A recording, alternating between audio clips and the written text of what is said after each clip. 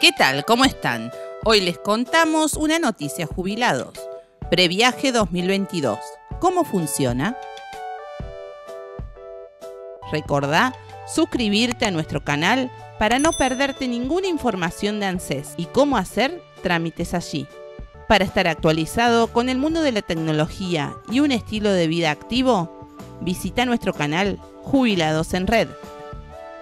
Background TV, un canal online con contenidos variados que cada vez crece más.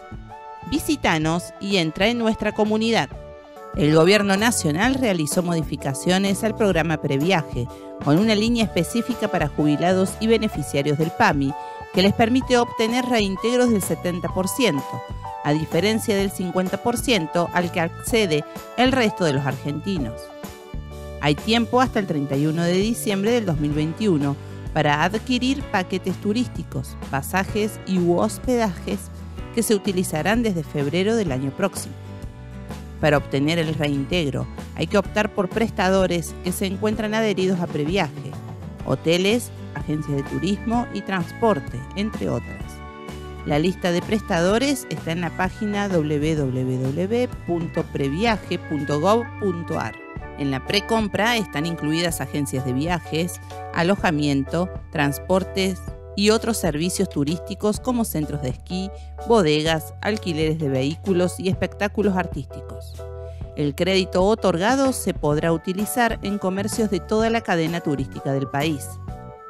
El periodo para hacer compras anticipadas es desde agosto hasta diciembre del 2021 y el crédito otorgado podrá utilizarse desde noviembre del 2021 hasta diciembre del 2022.